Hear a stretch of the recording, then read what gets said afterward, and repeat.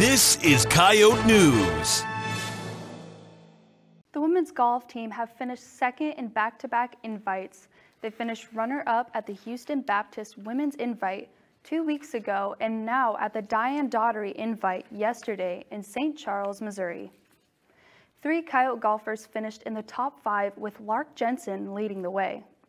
Finishing second overall on the weekend and helping the team have the best round three finish in the tournament.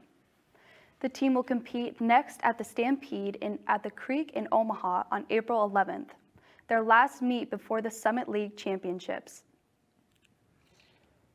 The volleyball team started their spring schedule Tuesday, losing against Creighton three sets to one.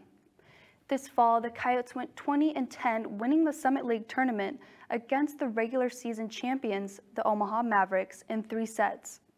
USD went to the NCAA tournament where they lost in three sets to the region's host, the Minnesota Gophers.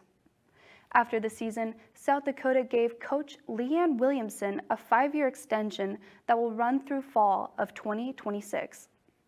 USD saw five players graduate at the end of the season, but Libero Lolo Weideman officially took her COVID year to come back for a final season.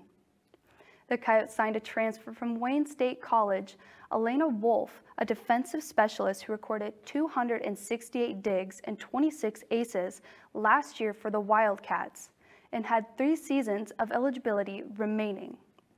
The Coyotes will play on three more dates this spring, with them playing their only spring home game on April 13th, while they will host Augustana.